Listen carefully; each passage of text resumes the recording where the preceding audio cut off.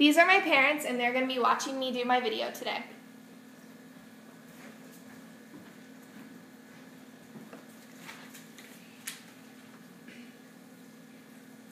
I love the feeling of sitting down to a home-cooked dish with my friends and family, but who's the time to slave in the kitchen all day?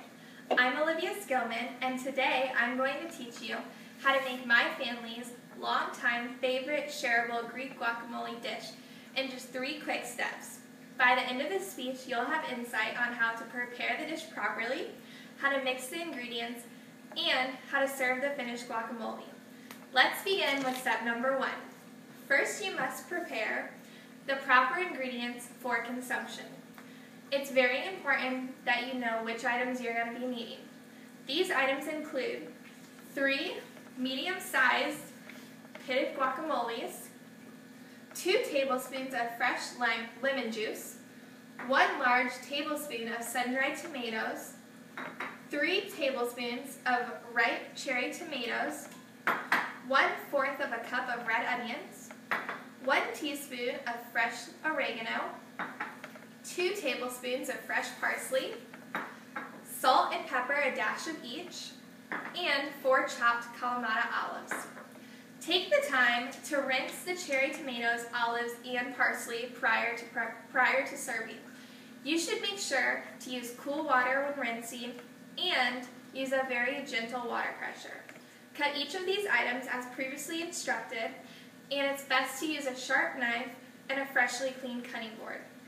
Now that I've taught you how to prepare the ingredients, let's move to step two, adding the ingredients together. First, you're going to place the previously prepared avocados and lemon juice into a bowl. Then, secondly, you must mash these two items together and using a large fork and evenly distributed pressure. Thirdly, mix all of the remaining ingredients into the mixing bowl. The sun-dried tomatoes, the diced cherry tomatoes, the onions, the oregano, the parsley, the salt, pepper, and the olives. Mix these gently with a fork and stir thoroughly. Lastly, let's move on to the final step of serving the guacamole. Find a visually appealing bowl other than your mixing bowl, and this bowl should be adequate size to fit most or all of the guacamole that you've previously prepared. It should also be wider than deeper for optimal sharing potential. Transfer all of the guacamole into the center portion of the bowl and display the finished dish on the serving table with pita chips nearby. Now that I've shared with you these three simple steps on how to make my family's favorite guacamole dish, you should never feel like you need to slave in the kitchen all day again.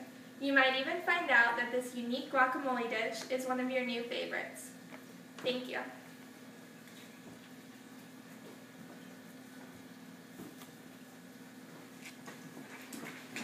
And these are my parents in the end.